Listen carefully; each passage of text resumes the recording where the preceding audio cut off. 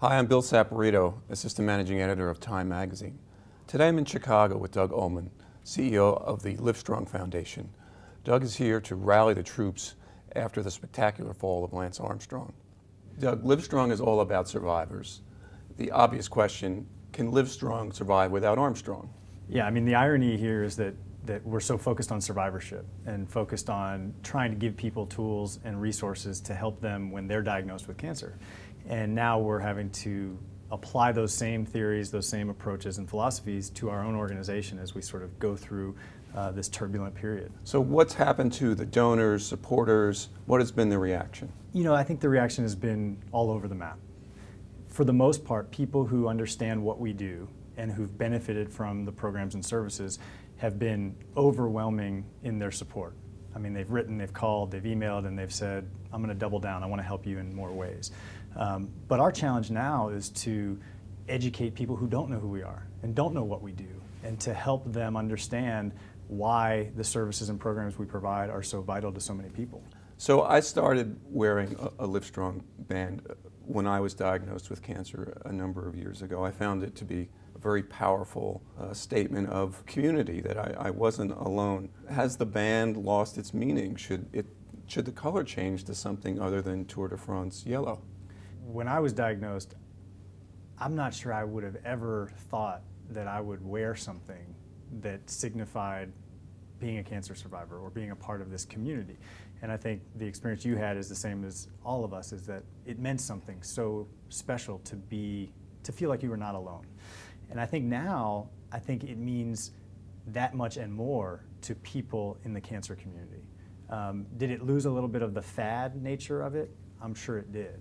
But to the people who wear it for either themselves or for somebody in their family or some loved one or colleague, um, I think it's as powerful as ever. And, and that's what we're hearing from a lot of people.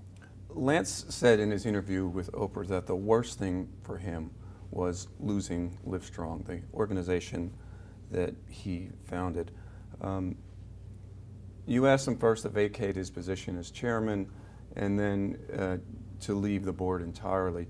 Um, how did that go down? Lance called me and he said, Should I resign as chairman? And I actually wasn't so sure at that point. It was so fresh, things were happening so quickly, and I said, let's talk about it tomorrow. And when we talked about it tomorrow, uh, we both decided that he should, and he agreed, and, and, and I think that was the right thing. Um, and in the ensuing weeks, there were further conversations, and you know, ultimately, uh, I think it was extremely difficult for him. But I also believe that he understood and understands why it was important for the organization and, and that was ultimately the biggest sort of factor in, in that decision. The Livestrong headquarters in, in Austin is Lance through and through, his artwork, photographs, trophies. Has, have you changed it at all? Has, has that stuff been removed? Have, or no, we still have um, amazing artwork from his mm -hmm. personal collection. Um, you know, as I tell our team all the time, Lance Armstrong is the founder of the organization. He, to this day, is still the number one financial contributor. Um, and we're not going to rewrite that history. The fact that he started this before he ever had fame and notoriety and, and, and did it because he wanted to help other people. And again, that's the responsibility that we have now to carry on uh, that torch, so to speak. And so um, we don't have plans to, to make other changes to our headquarters. What are the biggest needs today in the cancer community? Well, I think there's a role for various pieces of the puzzle.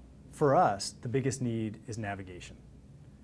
People who are diagnosed with cancer are automatically reduced to this level playing field where they don't know what to do, they don't know where to turn. Even if they're educated and have resources and insurance, it's still incredibly difficult. And so our focus is on helping people navigate that experience. How do they get financial assistance? How do they find a clinical trial? How do they get second opinions? What are the questions to ask? How do they get psychosocial support or transportation help? all the things that come with a diagnosis. And at the same time, we need more research, we need more public policy, we need more focus on prevention and early detection, which will ultimately create more survivors. So it's a complicated puzzle, and our piece is just one piece of that bigger sort of uh, spectrum of the disease. How will Obamacare affect cancer care? With the adoption of healthcare reform in 2014, more and more people will be covered and insured, which is a great thing. for people with cancer. People with cancer will have no longer have lifetime caps. People under the age of 26 will be able to stay on their parents' insurance.